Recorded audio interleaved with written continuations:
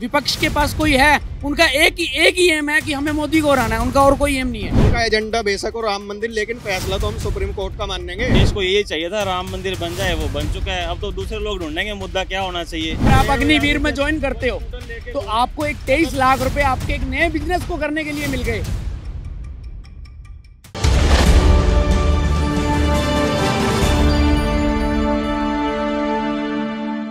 एक लाइन तो आपने सुनी होगी, मंदिर वहीं बनाएँगे लेकिन तारीख नहीं बताएँगे, लेकिन अब मंदिर भी बन रहा है और तारीख भी बता दी गई है। नमस्कार, आपने देखना चालू कर दिया है द न्यूज़ फिफ्टीन और मैं हूँ आपके साथ सक्षम तिवारी।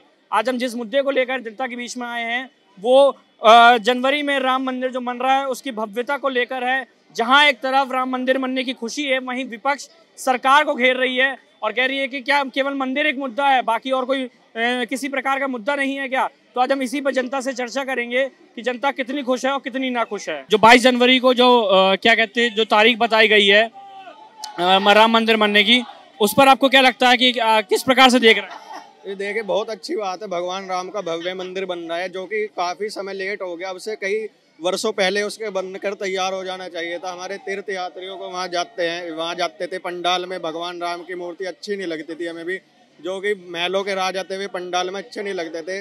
जो भी सुप्रीम कोर्ट का फैसला भी मैं मानता हूँ कि काफ़ी लेट आया है फैसला काफ़ी पहले होना चाहिए था और काफ़ी अच्छा है कि वो मंदिर बन रहा है।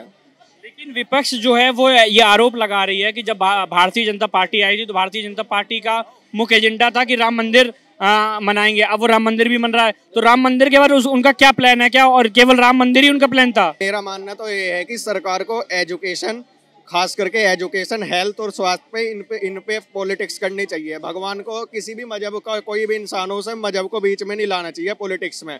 क्योंकि मज़हब हमारा सबका अपना अपना है, सबका अपनी जगह है। उनका एजेंडा बेशक हो राम मंदिर, लेकिन फैसला तो हम सुप्रीम कोर्ट का मानेंगे। अब तो कोई ये भी कहता है कि यहाँ मंदिर बनवा दो, यहाँ मस्जिद बनवा दो, लेकिन जो संविधान में लिखा गया देश तो उससे, उसके हिसाब से लेगा ना, जो सुप्रीम कोर्ट आदेश देगा। अच्छी बात है, उनका एजेंडा था, लेकिन अब मंदिर बन रहा है तो और भी अच्छी बात है। विपक्ष तो अपने मुद्दे साफ़ करके चलेगा ना क्योंकि उसे भी तो वोट चाहिए। जनता की ये तो है नहीं सिर्फ- सिर्फ़ बीजेपी को ही चाहिए वोट। राम मंदिर तो बन जाएगा। जनवरी में पूरा मीडिया तीन चार दिन तक तो यही कवरेज चलेगी कि राम मंदिर में मोदी जी गए योगी जी गए उनके साथ उद्घाटन हुआ ये चलता रहेगा। हाँ वो सभी जाएँगे अच्छी क्या कह रहे हैं भैया? बाकी नेता भी तो जाएँगे राम मंदिर में सभी जाएँगे। आपको क्या लगता है आपको क्या लगता है कि ये ये ये वाकई बड़ा मुद्दा है या केवल मतलब इसको केवल हाईलाइट करा जा रहा है? बहुत बड़ा मुद्दा है जी ये। हाईलाइट नहीं किया जा रहा, बहुत बड़ा मुद्दा है। देश में सरकार किसी की भी हो, सब लोग टिकटें फ्री कर रहे हैं। राम मंदिर के लिए टिकटें फ्री है, टिकटें फ्री अब क्यों कर रहे हैं? पहले खिलाफ थे ना सारे। अब क्यों कर रहे हैं टिकटें फ्री जाने के लिए? ट्रेन भी फ्री है, बसें भी फ्री हैं। अब क्यों भीड़ इकट्ठी कर रहे हो वहाँ पे फिर? मत जाओ जो लोग खिलाफ है उसके। नहीं, विपक्ष का आरोप ये था कि विपक्ष ये कह रहा था कि केवल भारतीय भारतीय जनता पार्टी जब 2014 में आई थी तो केवल उनके पास यही मुद्दा था। तो अब राम मंदिर भी बन रहा है तो इसके आगे उनके पास क्या प्लान मतलब प्लान क्या है भाजपा का? प्लान क्या है? देश को यही चाहिए था राम मंदिर बन जाए वो बन चुका है। अब तो दूसरे लोग ढूंढेंगे मुद्दा क्या होना चाहिए। विपक्ष तो आरोप लगाता चला है ना कि बेरोजगारी नहीं पास क्या है? विपक्ष के पास कोई है? उनका एक ही एक ही एम है कि हमें मोदी को हराना है उनका और कोई एम नहीं है। सिर्फ़ मोदी को हटाने के लिए वो आ रहे हैं। किसी से भी पूछोगे वो देश के लिए क्या करेंगे? कुछ कोई नहीं बोल रहा कि कुछ देश के लिए कोई क्या कुछ करेगा।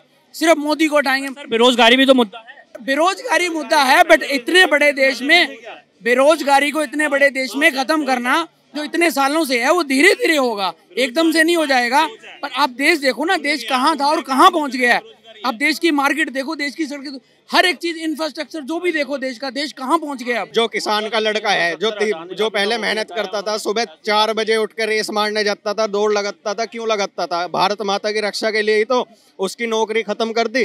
चार साल की नौकरी है उसके बाद वो ग्यारह लाख रुपए लेकर घर आएगा उसके बाद फिर अपनी खेती करेगा। चार साल में पैसे नहीं कमाएगा। और भाई साहब उसका उसका इंश्योरेंस अमाउंट देखो एक करोड़ का इंश्योरेंस अमाउंट है। कल को शहादत को प्राप्त हो जाता है तो अट्ठानवे लाख का एक्सग्रेशिया है।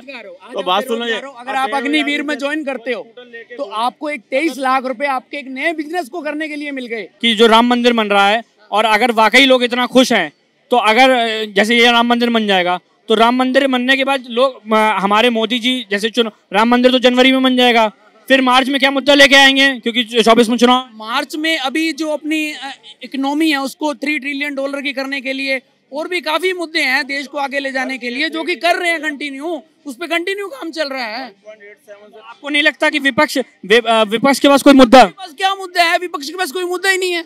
अब पूछो तो सही। विपक्ष का काम है विपक्ष के पास कोई मुद्दा ही नहीं है।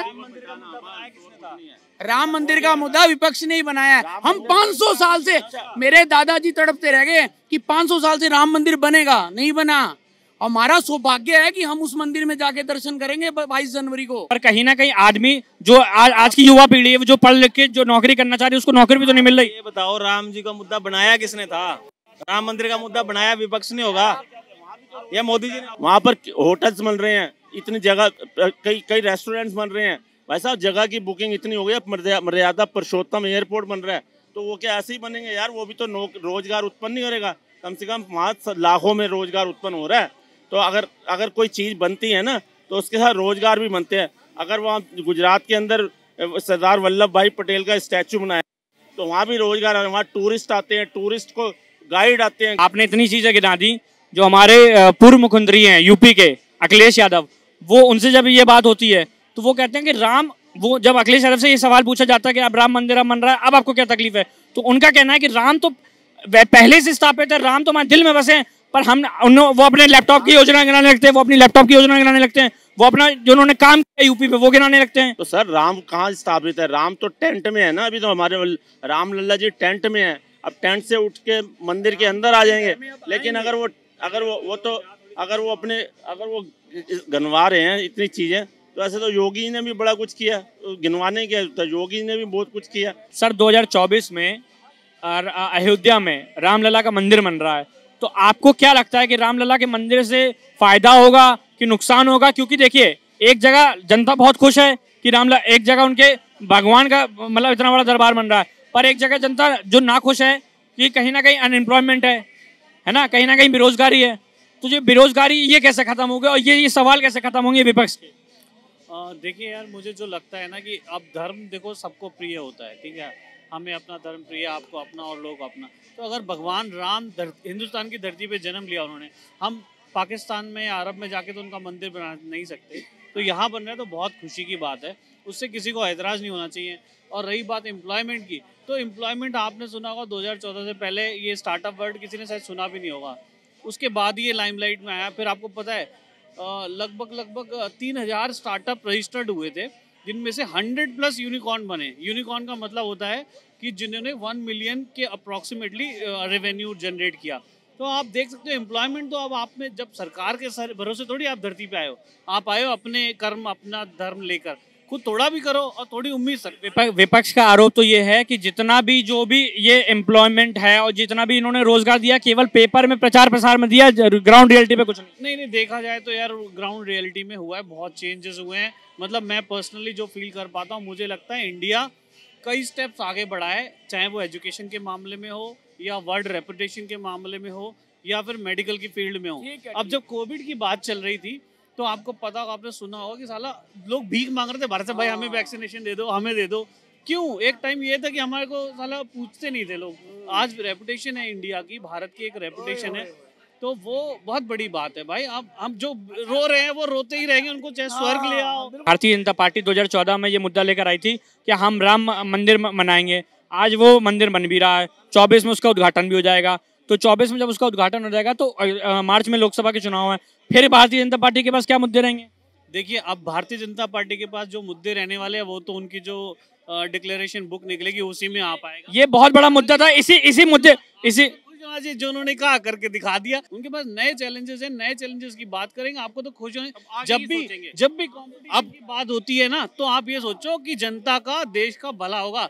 जब तक एक ही लाइन पे बार बार लाइन खींचते रहोगे ना वो लाइन नहीं बढ़ेगी। एक के आगे खींच गए उसके आगे खींचेंगे। राम मंदिर बोला था बना दिया अब हो सकता है कि कोई ऐसी चीज़ हाँ ऐसी चीज़ लाए जिसकी आपने उम्मीद भी ना करी जो बड़े बड़े मुद्दे थे धारा तीन सौ सत्तर हुए वो हटा दी। आतंकवाद खत्म करने के लिए बोला था आतंकवाद खत्म कर दिया। और क्या चाहिए? राम मंदिर के लिए बोला था, राम मंदिर का जो ये सबसे बड़ा इशू था। इसमें हिंदू, मुस्लिम अक्सर होती रहती थी। ठीक है, ये खत्म कर दिया डिबेट होती रहती थी। ये ठंडे पड़ गए सब लोग। उन्होंने जो बोला है, वो करते रहे हैं। बताओ आप।